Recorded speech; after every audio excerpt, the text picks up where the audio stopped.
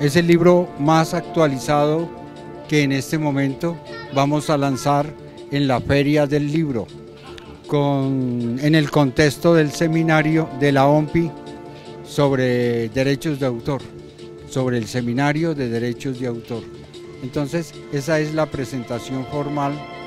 del texto. Es un texto universitario, es un texto de consulta, es una herramienta para los comunicadores, es una herramienta de investigación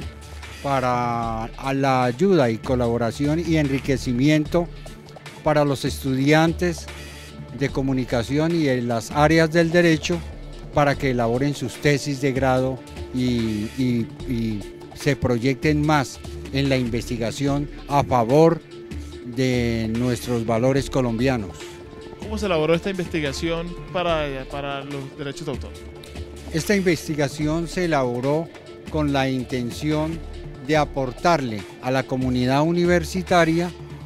eh, textos de investigación para que investiguen sobre los temas porque es, es un tema bastante amplio dentro de las comunicaciones, la informática jurídica. Y pues yo soy especialista en el área del derecho, en el área legal, o, sea que en la protección del hardware, del hardware, de las máquinas, y en la creación intelectual de los, de los creadores de, todos los elementos de la informática, o sea, eh, los fonogramas, eh, los disquetes, los jackets, los eh, microfilm, toda el área de, esa área que está ya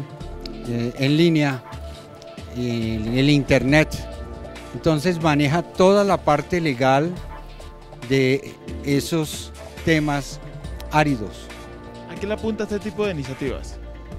Este apunta, apunta todo este tipo de iniciativas al orden institucional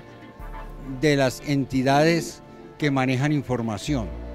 al orden institucional de las universidades que manejan información y enseñan a través de líneas y del Internet. O sea que eh, da protección legal, información inmediata y de consulta para aplicación de sus tesis y sus investigaciones privadas y públicas y del Estado ya se sale ya del contexto y ya maneja son los temas del Estado, o sea, lo que concierne a la Fiscalía General de la Nación y a lo que concierne a todo el tipo de, protección a la intimidad y sobre todo al habeas data de las personas, los datos de la información de las personas.